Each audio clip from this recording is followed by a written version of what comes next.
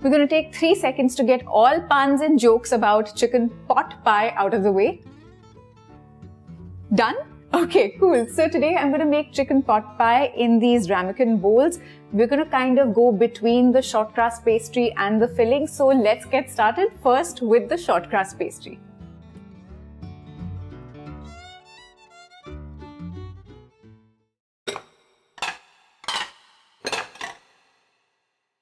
So for the short crust pastry, I have some all-purpose flour or maida here and to this I'm adding frozen freezer cold butter that I've just cut up into cubes. This is salted butter. You can use unsalted as well, but in that case, please add a pinch of salt. Now what I'm going to do is dive in with my fingers and rub this into the flour. And the texture that I'm looking to achieve is that of sand. So just start rubbing this into the flour. Now to bring this dough together, what I'm going to do is first add tiny pinch, tiny amount of vinegar, plain white vinegar. This doesn't result in any sort of a taste, but will give us a really nice and flaky crust. Remember, that's what we're chasing. Now to this, I'm going to start adding the water, but I'm going to do this a spoonful at a time. What we really want is for this dough to come together in clumps you don't have to knead the dough. So first I've added a tablespoon of water. I'm going to keep it at hand and this is ice cold water. Half a tablespoon more of water.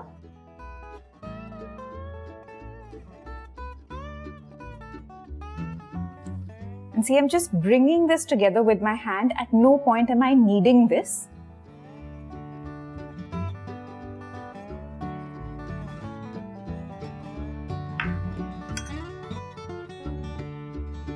Perfect.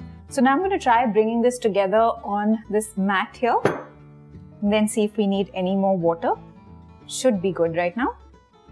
And here you'll see these little chunks of butter. That's really good. That's what we're aiming for. Tiny amount more of water. Just to bring this together. Perfect. Now I've got my cling film here. What I'm going to do is wrap this in cling film and I'm going to flatten this out a little bit more into a disc. And the reason for that is that the flatter your disc, the easier it will be for you to roll this out. So slightly loose here. Just flatten this out slightly. Perfect. Now what you want to do is place this in the fridge for at least half an hour before you roll this out. Okay, so I've rested this pastry for about half an hour. Now let's just open this up. You can dust a little bit of flour on the pastry also as you're opening it out.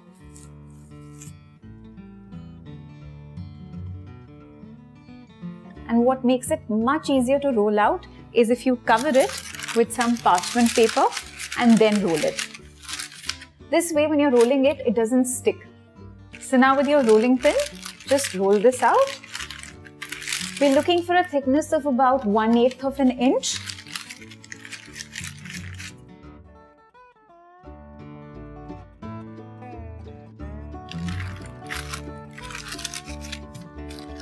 That's beautifully rolled out now. So what I'm going to do is that I'm going to make crisscross patterns on the short crust pastry when it goes on top of this. So I'm going to use this pizza cutter, but you can honestly use a knife as well. Just to cut this into strips.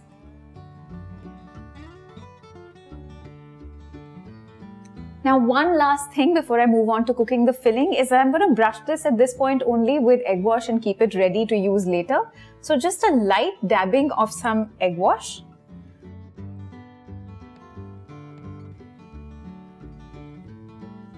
Brushed with egg wash and I'm going to keep it in the fridge till we are ready to use this.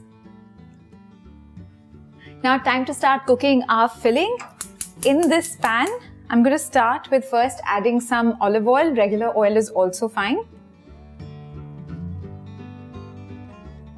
Now first thing in will be some onion, not too much, just about a tablespoon worth. And I'm not looking to brown the onions or anything. I just want them to turn slightly translucent. Now I'm going to add some finely minced garlic saute that.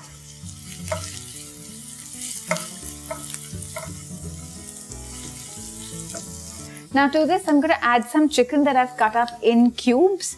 I'm using the thigh meat because that just has a lot more flavor than breast.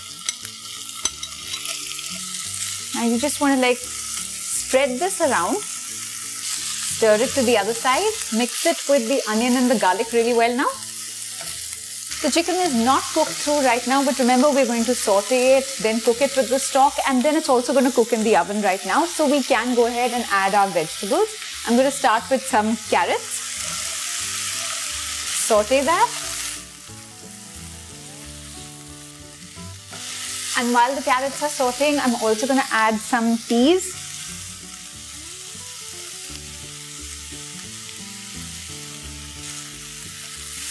Take the flame up to high now.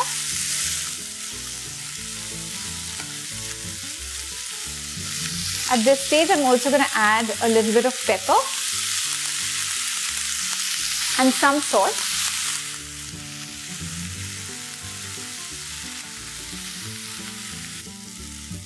Next, I'm going to add some chopped up mushrooms. If you'll notice, all the vegetables and the chicken that I've added here are all a bit chunky. You want to keep them roughly down to the same size. Take the flame up to high once you've added the mushrooms. We want them to release their water and add to the flavor in this pan.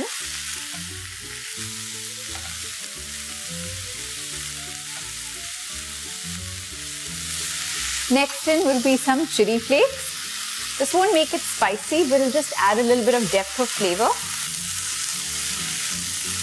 Some mixed dried herbs.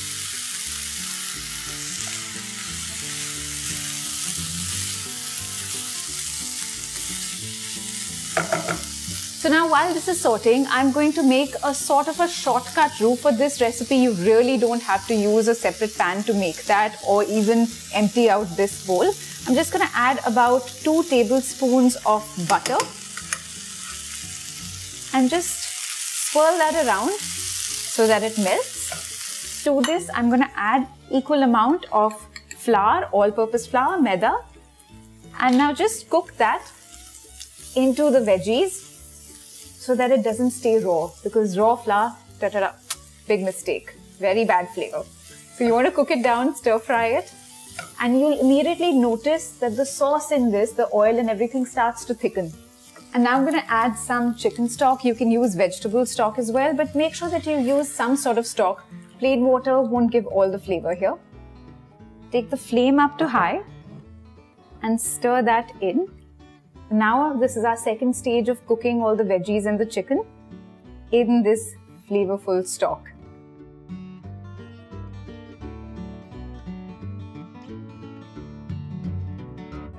Now the stock and the veggies and the chicken are bubbling away. You will notice that it has thickened as well. I'm not adding salt at this stage. I'm going to add some milk. I feel that this recipe has enough richness so you don't really need to add any more cream to it. Stir in the milk. I'm going to let it bubble a little bit and then I'll adjust the flavors right in the end. While this is bubbling away, I'm going to add some grated nutmeg. Just makes all the difference, but don't add too much, huh? Now, I feel like this needs a tad bit more pepper. Do you feel that? I know you can smell it. No, you can't? Okay, chalo, let's add some pepper. I feel like it really needs that.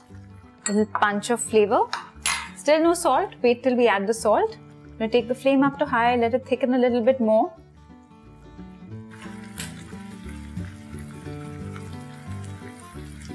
Now this is bubbling away. It's thickened really well.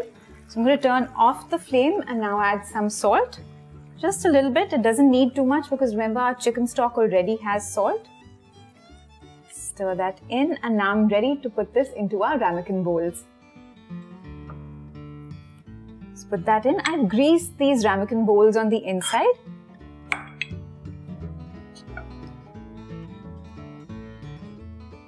So this is done. Now I'm ready to put on our short crust pastry on top of this. So now I'm going to use the strips of this short crust pastry that we've got ready here to just make a pretty design on top. And just trim off the excess from the edges. Okay, so there I'm done making that crisscross pattern on all of these ramekins now. So I'm going to bake this now at about 180 degrees for anywhere between 20 to 30 minutes. I'm going to wait for this short crust pastry to turn nice and golden brown and that's when we know it's going to be done.